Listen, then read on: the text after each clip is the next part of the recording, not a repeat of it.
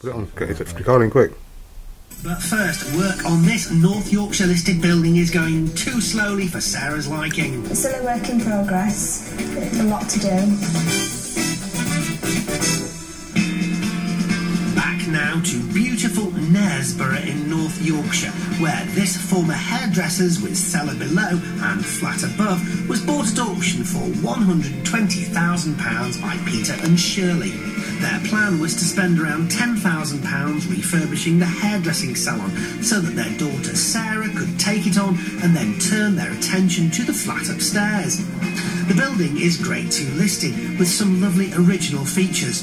Peter and Shirley were going into this with their eyes open. So what about budget for the works in here? Could be anything between 10 to 30, uh, 30,000, depending on how far you take it. Planned to turn the salon around in six to eight weeks and gave themselves six months to sort out the flat. Almost five months after our first visit, we're back to see if it's all cut and dried or if it's been a series of bad hair days.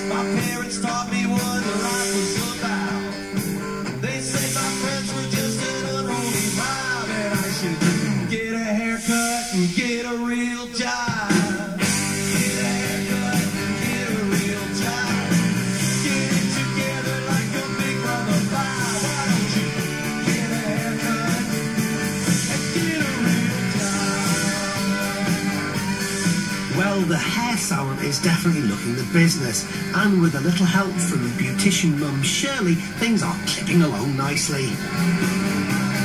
It's gone to plan. How we designed it. Um, I think we'll always progress and do some changes with it, but we're very happy with it at the moment.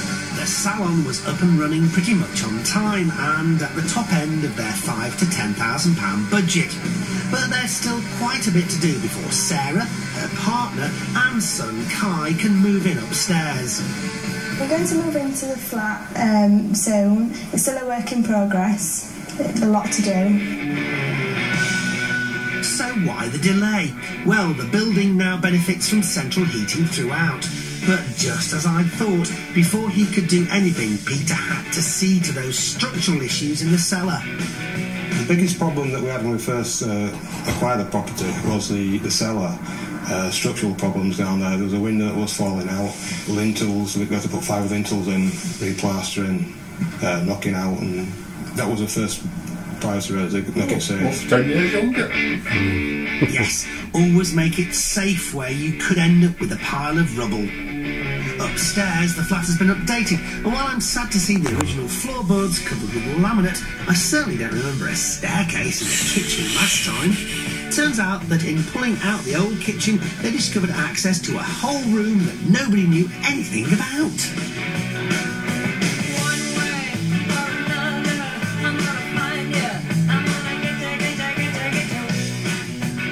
previously there'd been a staircase up here, so we opened it up, got plastering in, replastered it all, put new flooring, had it all re- rewired, and it's turned out as an extra room. It's great.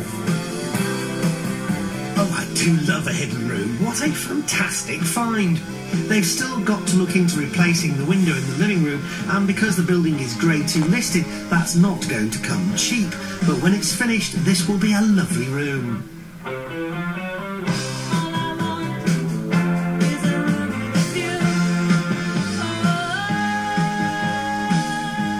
Bedrooms have been spruced up and the box room now makes a perfect home for the pet rabbit. But the other big change here is that the attic space has been turned into more really useful accommodation.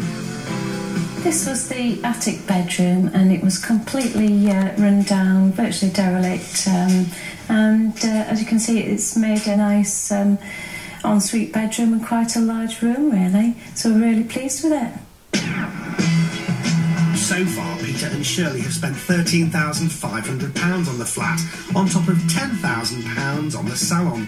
They reckon it could take another £15,000 and a further six months to get everything just right.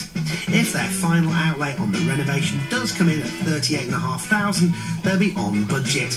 Their total spend here, including the purchase price, will be £158,500. We asked along two local estate agents to see what they make of the place.